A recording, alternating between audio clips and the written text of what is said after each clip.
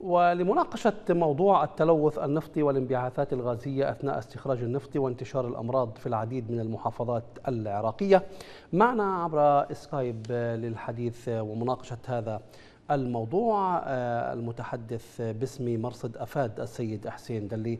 مرحبا بك معنا. أهلا وسهلا. شكرا للرافدين وتحية للجمهور الكريم. حياكم الله سيد حسين. تسرب نفطي إضافة إلى احتراق الغاز المرافق لاستخراج النفط في العراق وتأثيرات كبيرة آه، بدت آه، في الفترة الأخيرة على سكان المناطق القريبة من المنشآت النفطية. طبعا الحديث يتجاوز الخطورة التقارير كثيرة تحدثت عن خطورة ذلك على صحة آه، السكان.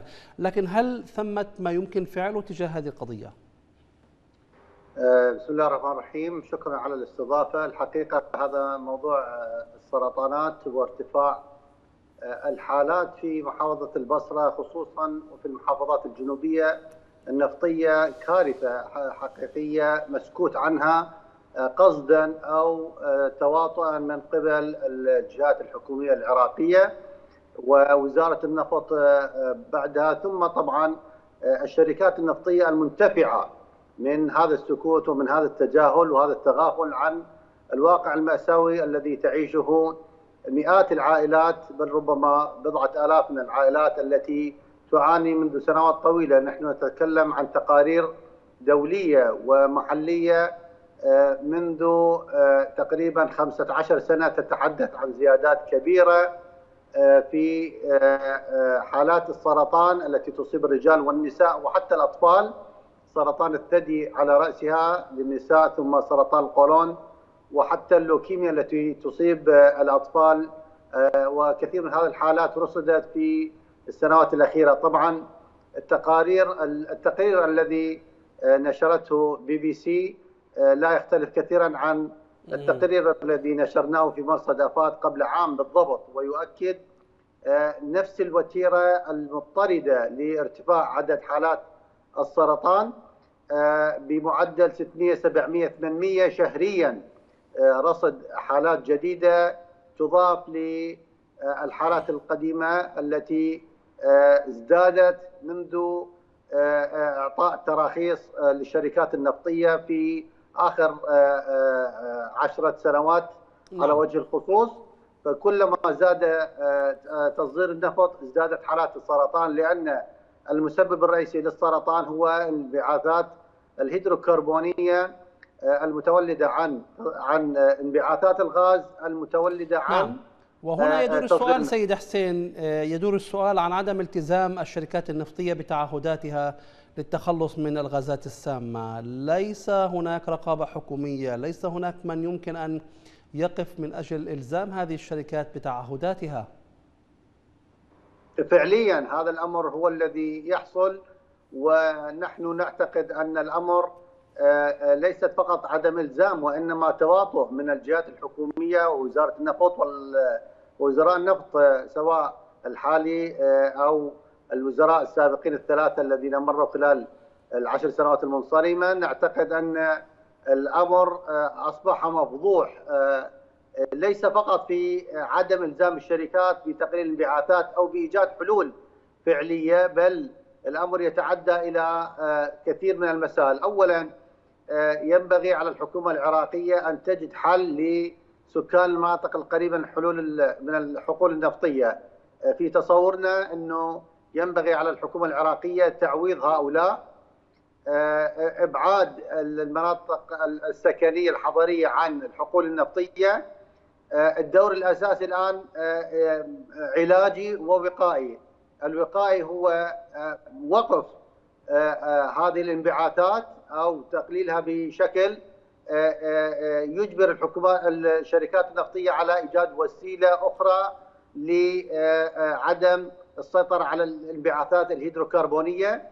النقطة الثانية هي موضوع علاجي، نحن نتكلم عن آلاف حالات السرطان. ينبغي إيجاد مستشفى خاص بمواجهة السرطانات الناتجة عن الحقول النفطية، ينبغي أن يكون هناك مستشفى خاص في محافظة البصرة خصوصا باعتبار أن 70% آه، آه، تقريبا من هذه الحالات مكتشفة في محافظة البصرة خصوصا وينبغي أن تصرف لهم أدوية مناسبة تستخدم من نعم. الدول العالميه متخصصة نعم. في موضوع معالجة هذه السرطانات فنحن نتكلم عن جانب وقائي نعم.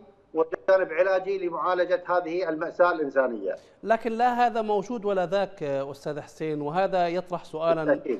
سؤالا حول التواطؤ الذي تفضلت به، عندما تقول كلمة تواطؤ قد ين يعني يعتقد المستمع أو المشاهد أن في ذلك مبالغة لكن عدم حل المشكلة أساسا ثم عدم حل المشكلة الناجمة عن هذه المشكلة ببناء مستشفيات أو توفير علاجات للمصابين بالسرطان. على سبيل المثال هناك كما تفضلت ارتفاع في نسب السرطان في البصرة وهذه المدينة أصلا لا يوجد فيها بنية تحتية أو اهتمام من الحكومة. يعني هذه المدينة ضحية نفطها إنجاز التعبير.